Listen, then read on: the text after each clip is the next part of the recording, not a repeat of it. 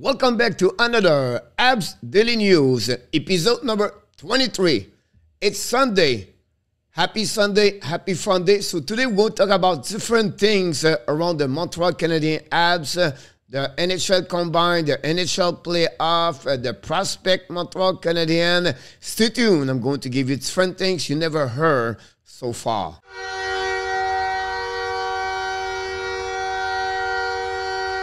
But before we start, you know the real. Please click on the like, subscribe to the show, sharing this video, and leave me a comment below this video.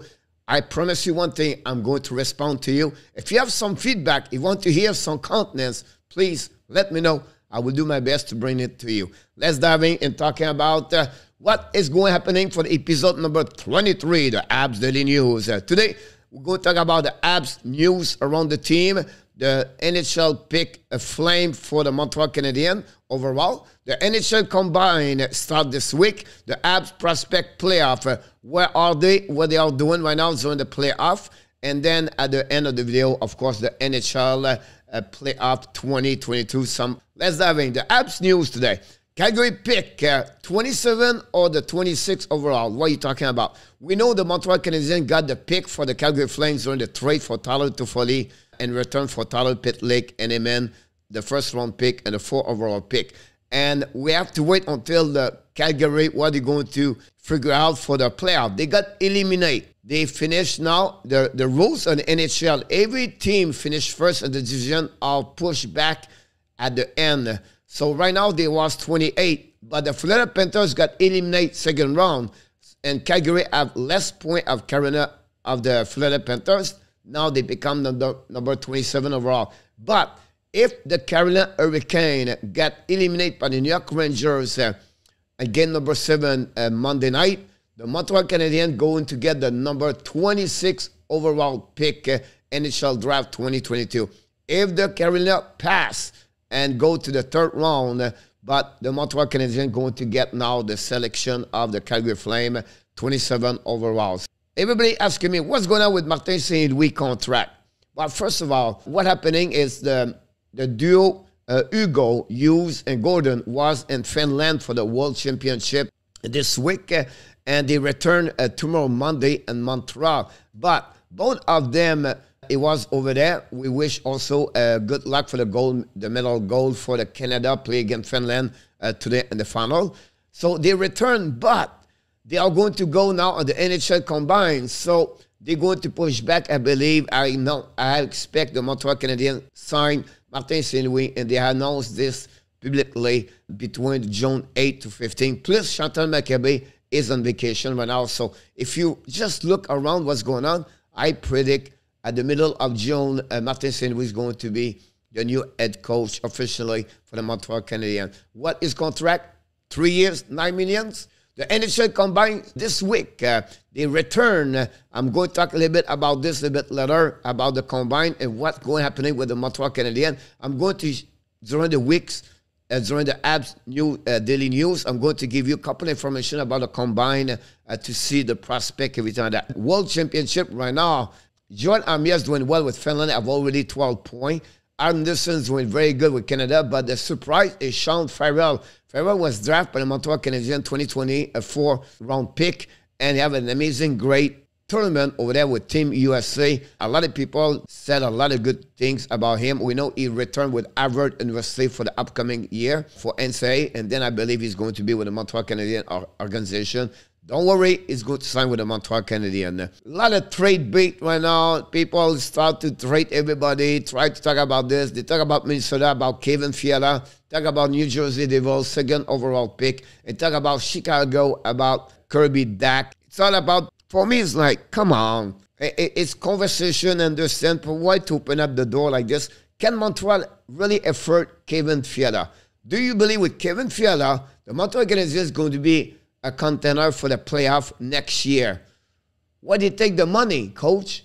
I don't know. You just tell me because you just said you want to trade for Kevin Fiala. We're going to give the second. We're going to get the second overall pick. We're going to give the pick number 2023 possible, or we're going to give uh, Kaiden Guhle or maybe Justin Barron, what the best top prospect defense for the Montreal Canadiens. Well, let's go. We want Slafkovsky. Why not to get Shane Wright, Slafkovsky together? Or you losing a great defenseman, the left D or RFD, maybe a top one and two.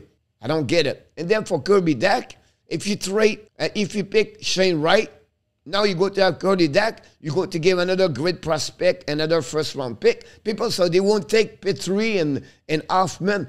They are not stupid, those other GM. You want the best prospect, but you don't go to give your own prospect. That makes sense. Sometimes trade bait for me, it's not what I'm looking for. Now, there's some people who want to thinking maybe the Montreal try to, at least to try to trade Christian Dvorak, Jeff Petry, Joel Armia for the next couple of weeks, a month. Something we have to follow up during the summer for sure. We'll bring to you. Some people thinking to to UFA, Chris Letang with the Montreal Canadiens. Some now talking about Nazem Kadri, and some people thinking about John Klingberg. Some people thinking about Vincent Trocheck. It's all great. But where do you get the money? What is going on with Carey Price? What's going on with Shea Weber? Montreal right now is over cap, salary cap for over $100,000. It did not full roster 23 players. I don't know, guys. And we did not talk about the RFA. We don't talk about UFA. So Montreal is not a great place right now to get trade bait and then, then UFA. We have to come down here, prepare the right, the right summer. Let's sign Martin St. Louis first and then see what's happening. Let's move on now the next one. The NHL combined return. It was canceled for the last two years, 2021, uh, 2020, and 2021 because of COVID. The last one it was in 2019. This week is going to be May 30 to June 4th. What's going on there? But the NHL team bring the physical people, the medical staff over there, and they make some tests for each players. Then also they have an amazing, insane NHL players. Many of them is going to have 10, 12, 15, 20, maybe 30 interviews during the week. It's insane what the players. Remember, guys, you've been there, I've been there. What do you remember the first time you got interviewed in your life? How nervous are you? Those young men have to meet now all the GM and the assistant GM and everybody there one by one to sell themselves to the team. Why they want to play for the Flame? Why they want to play for Montreal? What they bring on the table?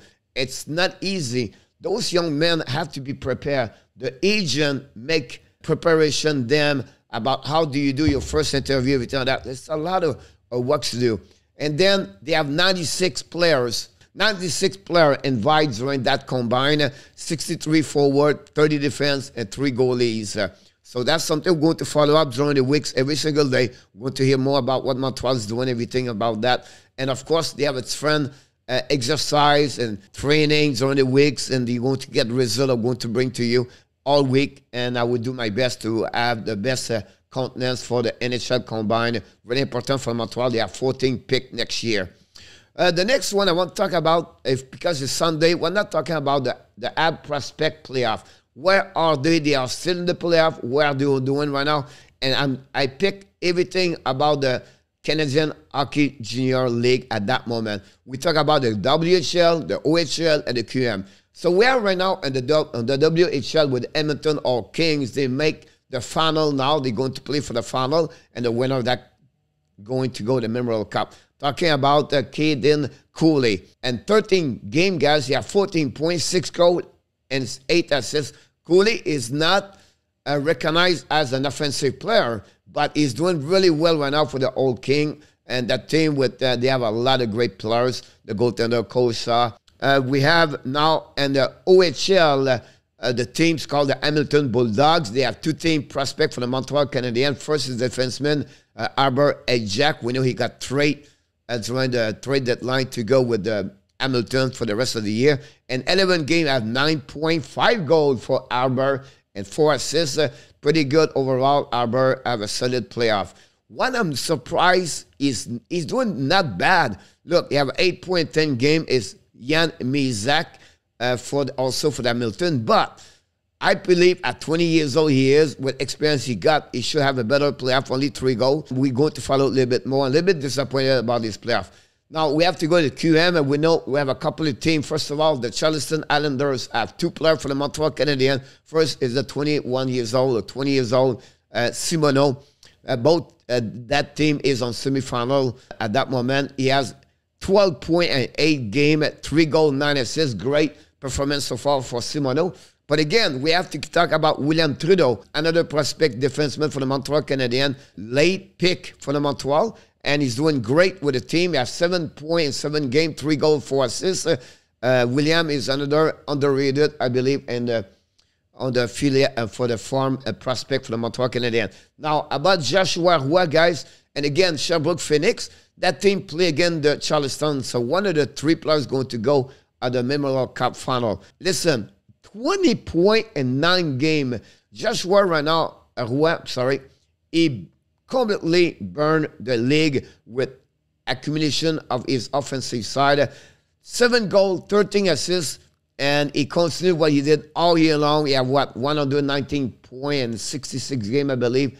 So uh, he is on fire, to be honest with you. Then the last one I want to talk about is uh, the goaltender for the prospect for the Montreal Canadiens, Jacob Dobeš for the Ohio State University NCAA. He was uh, named are the MVP for the Buckeyes and the NCAA. So congratulations again for the case. So I just want to share with you guys a couple information about the prospect. The NHL playoff uh, second round is not over yet. What? No because the New York Rangers uh, win at the Madison Square Garden, Big Apple over the Carolina Hurricane by a score 5 to 2. And now we have to go to the final game, game number seven, Monday night, and North Carolina. And the winner of this game is going to go to the third round final East Conference again at Tampa Bay Lightning. Every team again so far win at the home only. The Carolina are 7 and 7 at home and 0 6 on the road and it'll be interesting what going happening Monday night. We're going to do the live stream, so join us Monday night, 8 o'clock Eastern Time with the hockey coach, local Frenchy. So game number seven, Monday night. Uh, finally, what's next episode, coach? I'm going to talk about the NHL Prospect 2022, and then I'm going to talk about the NHL Combine uh, this week. So stay tuned. Come join me Monday for another video at 11 o'clock Eastern Time. We do video for you guys for abs, daily news every day at 11 o'clock. A lot of information for Sunday morning, I know. And hopefully you enjoyed this video. Before we leave, please don't forget to click on the like, subscribe to the show, and also Uh, sharing this video and leave your comments below this video. And finally, of course, you have greatness inside of you. Thank you so much for watching another episode of the Abs Daily News, episode number 23. I wish you an amazing, blessing day, everybody.